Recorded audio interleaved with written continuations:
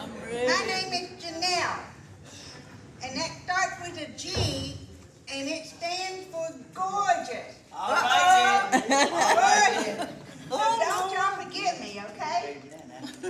I, I do a couple of different things. I have a business that's called Mid-South Home Helpers, where we help people stay at home in their homes by helping to provide care and assistance. I also am an insurance broker, and that's different than an insurance agent. A broker represents multiple carriers, an agent can only represent one carrier. So, but I'm not here to talk about Medicare today. I'm here to talk about self-care. How many of you do self-care? How many of you are taking care of other people? It's hard to practice self-care, isn't it? You you better know it, yes It does. So what does self-care mean? It's the practice of taking action to preserve or improve one's, one's own mm-hmm. health. So how many of you practice self-care? If you're caring for someone else, it's hard. So there's four parts of self-care that I want to talk about today. There's the mind, and that's where I'm going to spend most of my time, the mental, the psychological. There's the body, the physical. There's the heart, which is the emotional. And there's the spiritual. I'm going to spend most of my time talking about the mental and the, psycholo- uh, the psychological part of that. But let's go over some of the other ones first. Emotional self-care. When my husband died, I was totally, totally exhausted because I had given everything I possibly could to take care of him in his last days. I didn't do enough self-care because I let myself get down. So I'm here to tell you today, I don't want you to do like I did. Don't do like Gorgeous did, okay? All right. I want you to do better. I want you to take baby steps in your healing process. Mm-hmm. I want you to be patient and persistent and set realistic expectations. Now, what's that? What's setting realistic expectations? Anybody want to take a guess? You told me you were caregiving, so what's the realistic expectation for you? What for his current? Nothing. Is it realistic that you can do twenty-four hour care? I'm doing it now with my mom. You're here today, you're taking a break. Mm-hmm. I took up a eating time. So you set some time for yourself. I'm up there when, yes. That's realistic, right? Mhm, That's yes, taking care of you. So that's important. So ask for help. That was the hardest thing for me to do, was to admit that I needed help. I wanted to be superwoman. But you know what? I'm not. I'm really not. I may be gorgeous, but I'm not superwoman. All right. Okay, then there's the physical self-care, and this is important whether you're caring for someone else or not. How many of you exercise? All of Oh, good. You didn't see my hand go up. I gotta practice what I preach, don't I? Uh, All right then, very well. How many of you eat right? I try to do that. And do you get enough sleep? I have to have my sleep. So hygiene and taking time out for yourself, relaxation are another part of that. And I know you guys are all doing that because you're here today, right? Mhm. You're here today to relax and to enjoy some time with others. Right. So then there's the spiritual self-care. You guys can probably help me with this. What are some things you do for the spiritual? You pray, number one. Exactly, bingo. You also, you connect with your faith community, right? Yes, you fellowship. Exactly. Yes. Um, you volunteer, you help others. I'm guessing that if you're here today, you're here, you're somebody who likes to help others. Yes. Mhm. So I'd be surprised if you weren't. So, um, you can meditate. Spend some time in nature. There's nothing more relaxing than to take a walk on a, through a wood path that's laid out well, that's not likely to and relax and hear the birds sing, feel a little bit of the wind. Yes, ma'am. And if you're not able to walk, you could sit somewhere, stationary yourself somewhere, to just look at nature's beauty. That's And, exactly and, and, right. and if you just, just be quiet and just, like you said, listen to the birds and watch the, the birds flying and look at the leaves on the trees, that's relaxing and that's spiritual. You're connecting with nature. You know, a lot of us not able to go hiking and walking and things like that, but one of my highlights of my day at home is to keep my Venetian blinds open where I can look outside Yeah, you know, and, and, and you be, well, I'm not too old to daydream, but sometimes I end up just, my mind is just, just sore. You know, I've been another place and, and I just feel so good. and that's wonderful. We have a hummingbird feeder right outside on my deck. And we, we have the blinds open during the day so we can watch those hummingbirds fly by. There's, so- and you know, you gotta watch. They, they, they're here, they're here and they're gone. Yes. But it's so fun to watch them. Yes, So you can also speak with someone you trust. yes. Don't bottle it all in. Talk to somebody else. Yeah, poor Mary Lou, she got an earful today.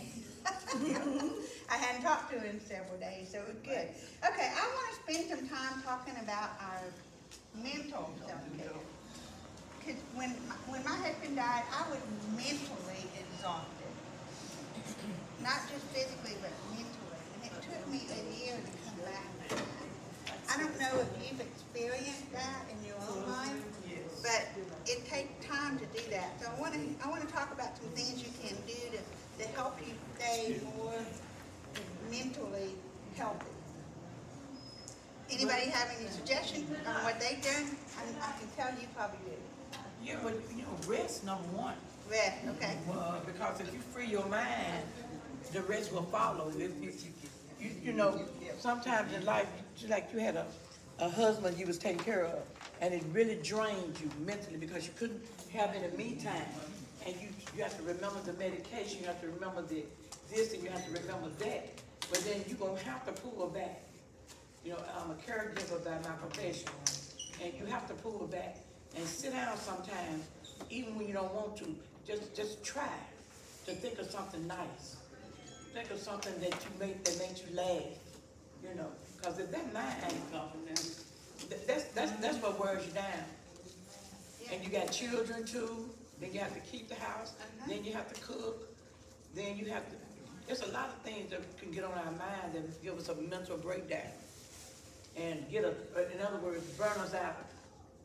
True, and you can, you can maybe find a new hobby. That might be just, uh, looking at the books that had plants in it and recognizing where they are in your yard. Figuring out what plants are in your yard, or in your neighbor's yard that you admire so much. Can I tell you one of the things I did when I was working? Absolutely. I had a book on birds, and the, the people that I was working for, they would feed the birds. They'll throw the bird seed in the driveway, Uh-huh. and I used to stand in the window and see that I recognized the birds. Oh, And, cool. uh, it, it really, it really relaxes you. That became a hobby for you, Yes. bird watching. Yes, yes, So it doesn't have to be something strenuous, it can be something very easy. yes. Okay, so, so now I wanna talk about another thing that I think is important, our mental health. Are y'all ready for this? This is probably one of the best things you can do for yourself. Is to be grateful. So I want us to think about three things that we're grateful for. I'm gonna give you two of them, and you have to come up with a third one. So I would like for you to write in your journal, in your book that I gave you, the first one, first two. One, are you ready for this? Yes. You got out of bed this morning. Isn't that right?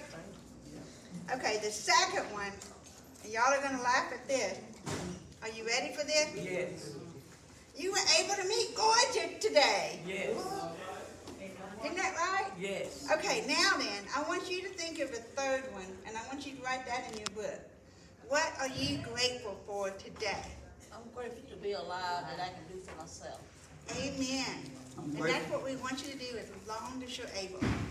So hopefully some of these things today that I've shared with you will help you do that and remind you.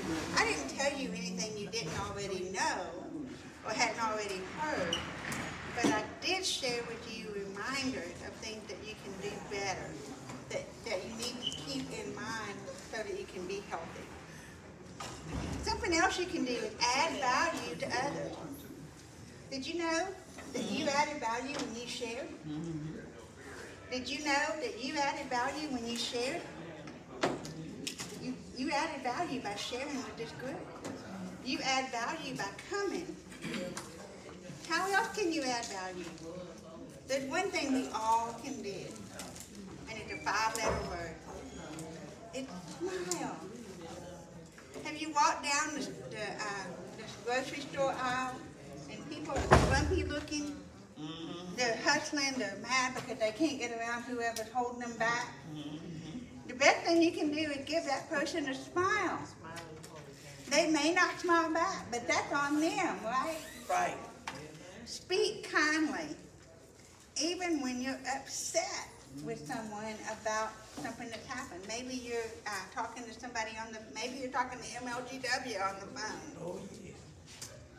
And you can still speak kindly to that person, but make your point. Do something nice for another person. I saw someone over here, I think it was you, you were, you were greeted, you were talking to her and encouraging her a while ago, Yes. weren't you? Weren't you, ma'am? Weren't you encouraging her a while ago when y'all were talking? Coaching.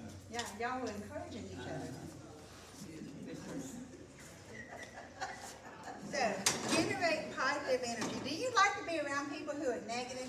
No, no, No. No. If I have to sit next to a negative person today, I'm probably gonna move to the room the next time. Right? I wanna be around people who are positive. All right, well, thank you for coming. Thanks for meeting you all. So, I wanna be around positive energy.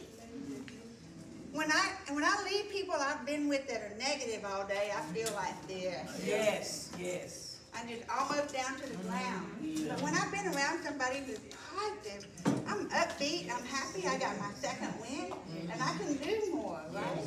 Yes. You know what else? I'm nicer to other people when I've been around positive Yes. people. Right, right, right. Yes. Be an encourager.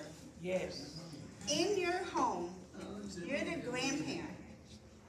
Your grandchildren and your children need encouragers in their may be the only person who gives them that encouragement. Please be that person. Let that be your legacy. I don't have a lot of money to leave anybody, but I'm going to leave behind a legacy of love and compassion and encouragement.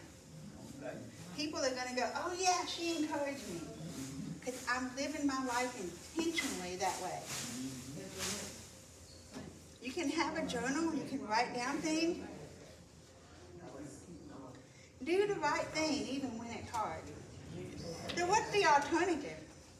You could have a poor attitude, no friends, No one. you can be miserable, Yeah, you can be mad all the time, yeah.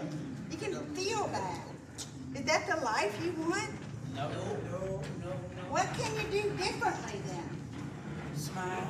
That's right, and I got a big smile for you today. All right. And when you make other people feel good, you definitely feel good. That's right, that's exactly right. I don't have anything else to share with you today. I know that it's not anything new that you heard, but hopefully it reminded you of how valuable you are to each person that you cross in your, in your path, Yes, ma'am. especially your family. And it's important to be that encourager. You want to be remembered for that? Yes. Oh, yes. Absolutely. Okay, so you're, you're gonna remember that you got reminded to be an encourager right here by Gorgeous. Yes. All right. All right? All Yes. right. Thank you so much for letting me come. I hope you enjoyed the little happy. Yes, ma'am.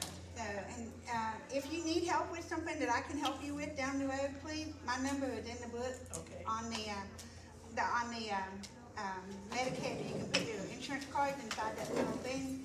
Fold it up, put your insurance cards in there, and you'll always have your insurance card. And my number is on there if you need me. You. Y'all have a great day, okay? Thank you. You too. You too, Miss George.